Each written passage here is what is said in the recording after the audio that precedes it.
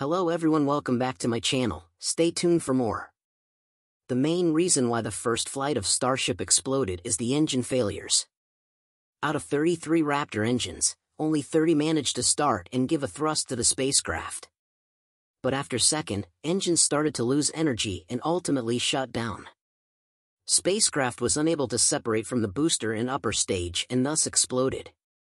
The company, in this case, decided to find out the issues with the Raptor engines and they found that they needed to upgrade the engines from hydraulic control to electric control for a better upward thrust along with other upgrades.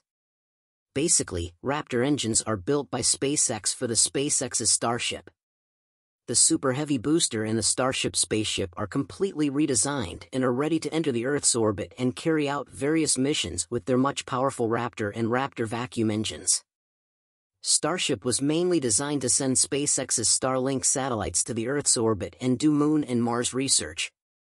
The Raptor engine utilizes subcooled liquid methane and subcooled liquid oxygen as propellants in a full-flow staged combustion cycle, which is a departure from the current Merlin engines.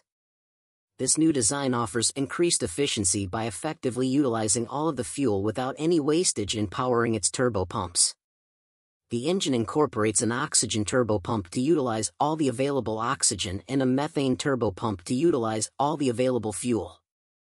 This approach optimizes the combustion process and allows for more efficient utilization of the propellants, ultimately enhancing the engine's overall performance. For the Raptor engines, whether during launch or in flight, engine ignition was accomplished using dual redundant spark plug lit torch igniters.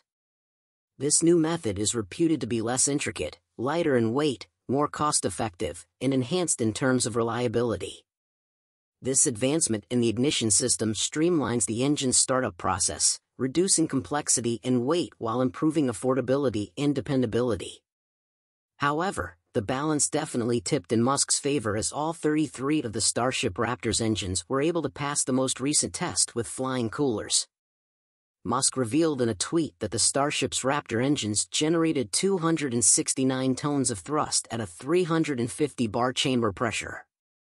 To be completely honest, we did not anticipate the engine to endure a full duration run at such pressure, he stated. The wall of the Raptor chamber may have the highest heat flux of any object ever created.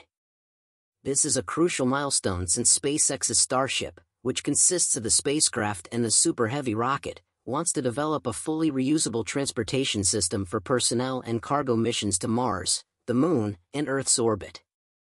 According to SpaceX, the Raptor engine, which is a reusable methane-oxygen staged combustion engine as mentioned before, has double the thrust of the Falcon 9 Merlin engine.